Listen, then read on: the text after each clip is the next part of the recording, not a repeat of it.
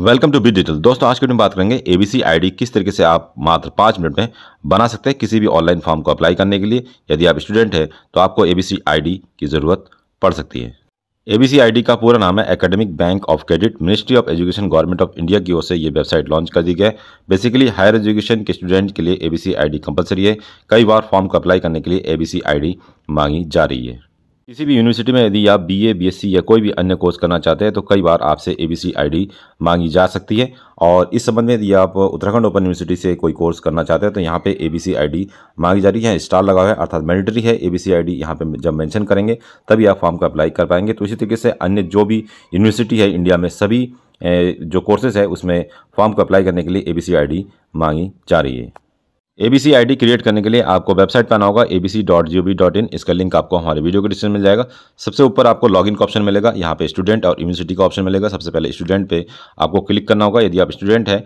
उसके बाद आपके सामने कुछ इस तरीके का इंटरफेस आ जाएगा। Meri Pahchan national single sign on G twenty का लोगो आपको दिखाई देगा। साइन इन करना होगा यहाँ पे। आपको, यदि आपका डिजी लॉगर अकाउंट है तो बहुत अच्छी बात है, नहीं है तो आपको डिजी लॉकर अकाउंट से ये ऑटो फैच करना होगा, अर्थात आपको अकाउंट भी डिजी लॉकर में बनाना होगा। यहाँ पे मोबाइल नंबर, यूज़र नेम और अदर ऑप्शन है। इसको फिल करके आप यहाँ पे साइन इन कर सकते हैं, लेकिन यदि आप पहली बार इस वेबसाइट का यूज़ करने जा रहे होंगे तो यहाँ पे आपको न्यू यूज़र के नीचे साइनअप का ऑप्शन मिलेगा। साइनअप वाले ऑप्शन में आपको क्लिक करना होगा। और क्लिक करने के बाद आप जो है डिजी locker dot Meri Pahchan dot G O V dot in के ऑफिशियल वेबसाइट पर आ जाएँगे। यहाँ पे sign up for DigiLocker का ऑप्शन आ जाएगा। यहाँ पे आपको अपना मोबाइल नंबर फिल करना होगा। ध्यान रखेंगे मोबाइल नंबर आप आधार से लिंक वाला जो मोबाइल नंबर है, वही फिल करेंगे तो बेहतर रहेगा। उसके बाद आपको जनरेट ओ टी पे क्लिक करना होगा।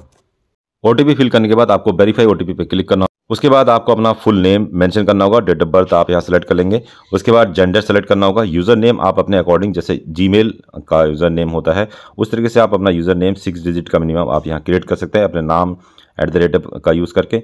पिन यहाँ पे जैसे एटीएम का पिन होता है, उस तरीके से फोर या सिक्स डिजिट का पिन यहाँ पे कंफर्म पिन में दो बार यहाँ पे एंटर कर सकते हैं। और टर्म्स एंड कंडीशन को एक्सेप्ट करके आपको वेरीफाई ऑप्शन पे क्लिक करना होगा।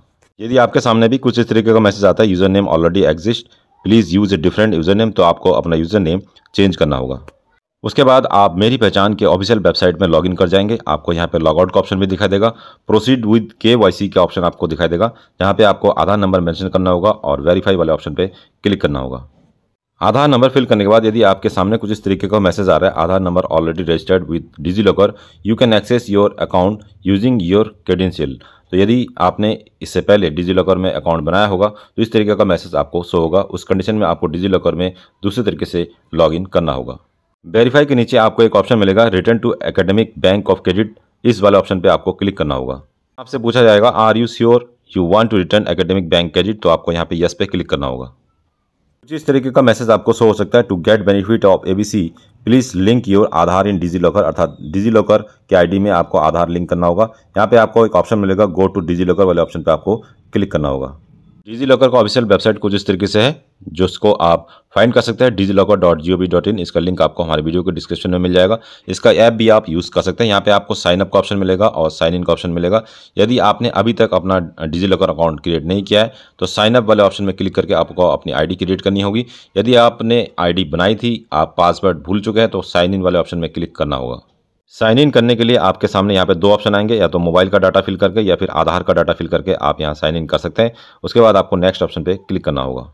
आपको फिर six digit security pin enter करना होगा। यदि आप सिक्योरिटी पिन भूल चुके हैं तो फॉरगेट सिक्योरिटी पिन वाले ऑप्शन में क्लिक कर सकते हैं। उसके बाद आपको या तो अपना आधार नंबर या फिर मोबाइल नंबर फिल करके नेक्स्ट ऑप्शन पर क्लिक करना होगा।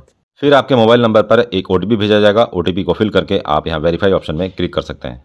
आपको अपने अकॉर्डिंग सिक्स डिजिट का सिक्योरिटी पिन यहाँ क्रिएट करना होगा, उसके बाद सबमिट ऑप्शन पे क्लिक करना होगा। उसके बाद आप डिजी लॉकर अकाउंट के अंदर एक्सेस कर जाएँगे। आपको यहाँ पे लेफ़्ट हैंड में तीन लकीरें मिलेंगी। यहाँ पे आप देख सकते हैं इशू डॉक्यूमेंट सच डॉक्यूमेंट और आप माई प्रोफ़ाइल और उसके बाद लॉगआउट का ऑप्शन भी आपको यहाँ पे दिखाई देगा। डिजी लॉकर के अंतर्गत आपको वेबसाइट मिलेगा एकेडमिक बैंक ऑफ़ क्रेडिट अर्थात आईडी क्रिएट करने का। यहाँ पे ज्वाइन नाउ का ऑप्शन मिलेगा, इस पर आपको क्लिक करना होगा।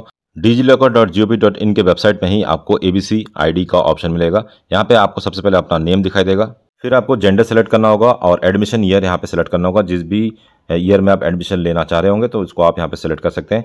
उसके बाद आपको यहाँ पे नीचे आइडेंटिटी टाइप में आप यहाँ पे स्क्रॉल करेंगे तो आप अपना रोल नंबर फिल कर सकते हैं रजिस्ट्रेशन नंबर न्यू एडमिशन भी फिल कर सकते हैं। तो आपको यदि एनरोलमेंट नंबर अर्थात नामांकन संख्या मिल गया है तो एनरोलमेंट नंबर पे ओके कर देंगे। उसके बाद आपको आइडेंटिटी वैल्यू में आपका एनरोलमेंट नंबर यहाँ फिल करना होगा। उसके बाद इंस्टीट्यूट नेम आपको यहाँ पर सर्च करना होगा। यहाँ पर सर्च ऑप्शन भी आपको यहाँ मिल जाएगा। टाइप टू सर्च यहाँ पर टाइप करके भी आप सर्च कर सकते हैं, या स्क्रॉल करके भी आप यहाँ पे अपने यूनिवर्सिटी का नेम यहाँ पे सर्च कर पाएँगे। ओके बटन पे क्लिक करेंगे और आपको अपने इंस्टीट्यूट का नेम यहाँ पे दिखाई देगा। टर्म्स एंड कंडीशन को आपको एक्सेप्ट करना होगा, उसके बाद कैट डॉक्यूमेंट पे क्लिक करना होगा। डिजी लॉकर वेबसाइट के अंतर्गत आपको A B C I D दिखाई देगा। ए बी सी आई डी के ऊपर आपको डाउनलोड का ऑप्शन दिखाई देगा। आप यहाँ पर डाउनलोड करके पी डी एफ़ फॉर्म में भी इस A B C I D को डाउनलोड कर सकते हैं।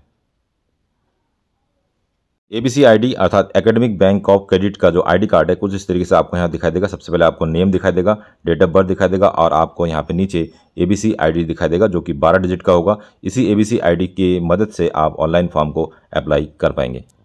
तो दोस्तों, इस तरीके से आप डिजी locker dot Meri Pahchan dot G B dot in की सहायता से अपनी A B C I D create कर सकते हैं। इस वीडियो की रिगार्डिंग कोई और जानकारी आपको चाहिए तो कमेंट कर सकते हैं। मिलते हैं नेक्स्ट वीडियो में, तब तक के लिए अपना ध्यान रखिए। बाय बाय जय हिंद